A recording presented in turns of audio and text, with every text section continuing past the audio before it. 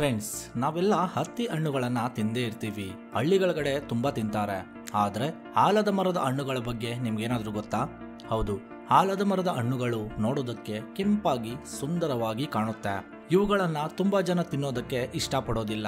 ಹಳ್ಳಿಗಳ ಕಡೆ ಇದನ್ನ ತಿಂತಾರೆ. ಯಾಕಂದ್ರೆ ಇದರಲ್ಲಿ ತುಂಬಾ ಪೋಷಕಾಂಶಗಳು, ವಿಟಮಿನ್ಗಳು ಇರುತ್ತೆ. ಇದು ಮನುಷ್ಯನ ಆರೋಗ್ಯಕ್ಕೆ ಉತ್ತಮವಾದಂತಹ ರೀತಿಯಲ್ಲಿ ಸಹಕರಿಸುತ್ತೆ. ಸೊ, ಹಾಗಾದ್ರೆ ಆಲದ ಮರದ ಹಣ್ಣುಗಳನ್ನ ತಿನ್ನುವುದರಿಂದ ಸಿಗುವ ಆರೋಗ್ಯಕರ ಲಾಭಗಳ ಬಗ್ಗೆ ನಾವು ಈ ವಿಡಿಯೋದಲ್ಲಿ ತಿಳಿದುಕೊಳ್ಳೋಣ. ಇದು ನಮ್ಮ ಉತ್ತಮ ಆರೋಗ್ಯಕ್ಕಾಗಿ. ಆದ್ದರಿಂದ ಈ ವಿಡಿಯೋವನ್ನ ಪೂರ್ತಿಯಾಗಿ ನೋಡಿ. ಫ್ರೆಂಡ್ಸ್ ಇದುವರೆಗೂ ನೀವು ನಮ್ಮ ಚಾನಲ್ಗೆ ಸಬ್ಸ್ಕ್ರೈಬ್ ಮಾಡಿಲ್ಲ ಅಂದ್ರೆ ನಮ್ಮ ವಿಡಿಯೋ ಕೆಳಗಡೆ ಕಾಣೋ ರೆಡ್ ಕಲರ್ ಸಬ್ಸ್ಕ್ರೈಬ್ ಬಟನ್ ಮೇಲೆ ಕ್ಲಿಕ್ ಮಾಡಿ, ಪಕ್ಕದಲ್ಲಿ ಕಾಣೋ ಬೆಲ್ ಐಕನ್ ಅನ್ನು ಕ್ಲಿಕ್ ಮಾಡಿ. ಮೊದಲಿಗೆ ಆಲದ ಮರದ ಹಣ್ಣುಗಳನ್ನ ಯಾವ ರೀತಿ ತಿನ್ನಬೇಕು ಅಂತ ನೋಡೋಣ.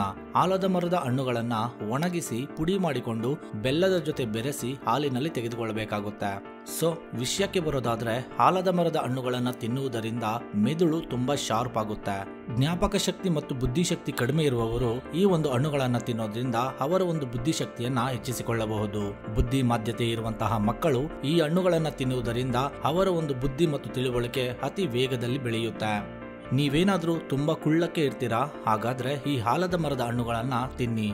ಈ ಹಾಲದ ಮರದ ಹಣ್ಣುಗಳನ್ನು ಸೇವಿಸುವುದರಿಂದ ಹೈಟ್ ಜಾಸ್ತಿ ಆಗುತ್ತೆ. ಅಷ್ಟೇ ಅಲ್ಲದೆ ಮಕ್ಕಳ ಬೆಳವಣಿಗೆಗೆ ಇದು ಸೂಕ್ತವಾದಂತಹ ಹಣ್ಣಾಗಿರುತ್ತೆ. ಮಕ್ಕಳ ಹೈಟ್ ಸಹ ಜಾಸ್ತಿ ಆಗುತ್ತೆ.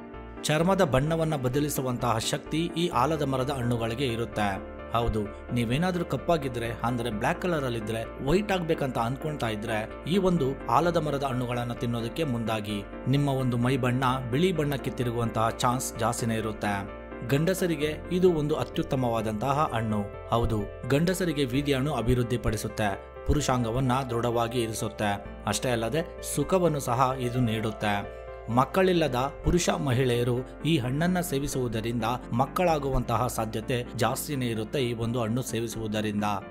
ಯೌವನವನ್ನ ಕಾಪಾಡುತ್ತೆ. ಹೌದು, ವಯಸ್ಸಾದಂತೆ ವಯಸ್ಸಾದಂತೆ ಚರ್ಮ ಸುಕ್ಕು ಕಟ್ಟೋದನ್ನ ನಾವು ನೋಡೇ ಇರ್ತೀವಿ. ಆದ್ರೆ ಈ ಹಣ್ಣನ್ನ ಸೇವಿಸೋದ್ರಿಂದ ಲೂಸ್ ಆಗಿರುವಂತಹ ಚರ್ಮ ಗಟ್ಟಿಯನ್ನ ಪಡೆಯುತ್ತೆ. ನಮ್ಮನ್ನ ಯೌವನದಂತೆ ಕಾಣುವಂತೆ ಮಾಡುತ್ತೆ.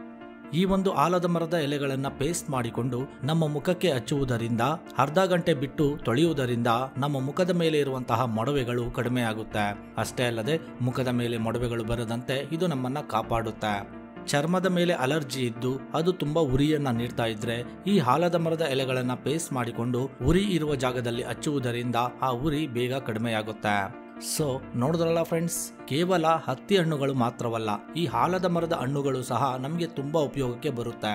ನಾವು ತುಂಬಾ ಕಡೆ ಹಳ್ಳಿಗಳ ಕಡೆ ಈ ಹಣ್ಣನ್ನ ನೋಡ್ತೀವಿ. ಸಿಟಿಯಲ್ಲಿ ರಚ್ಚೆ ಕಟ್ಟೆಗಳ ಮೇಲೆ ಈ ಒಂದು ಹಣ್ಣುಗಳನ್ನ ನೋಡ್ತೀವಿ. ಆದ್ದರಿಂದ ಈ ಹಣ್ಣುಗಳು ಕಂಡಲ್ಲಿ ಅವುಗಳನ್ನು ತೆಗೆದುಕೊಂಡು ಒಣಗಿಸಿ, ಪುಡಿ ಮಾಡಿ, ಬೆಲ್ಲದ ಜೊತೆ ಬೆರೆಸಿ ಹಾಲಿನಲ್ಲಿ ತೆಗೆದುಕೊಳ್ಳುವುದರಿಂದ ಇಷ್ಟೆಲ್ಲ ಉಪಯೋಗ ನಮಗೆ ಸಿಗುತ್ತೆ. ಸೊ ಇದಿಷ್ಟು ಈ ವಿಡಿಯೋದಲ್ಲಿ ಚಿಕ್ಕ ಮಾಹಿತಿ. ಈ ವಿಡಿಯೋ ಬಗ್ಗೆ ನಿಮ್ಮ ಅಭಿಪ್ರಾಯವನ್ನು ತಪ್ಪದೇ ನನಗೆ ಕಾಮೆಂಟ್ ಮುಖಾಂತರ ತಿಳಿಸ್ಕೊಡಿ. ಈ ವಿಡಿಯೋ ನಿಮಗೆ ಇಷ್ಟ ಆಗಿದ್ರೆ ಖಂಡಿತ ಲೈಕ್ ಬಟನ್ ಮೇಲೆ ಕ್ಲಿಕ್ ಮಾಡಿ ಅಂತ ಹೇಳ್ತಾ ಈ ವಿಡಿಯೋ ನೋಡಿದ್ದಕ್ಕೆ ಧನ್ಯವಾದಗಳು.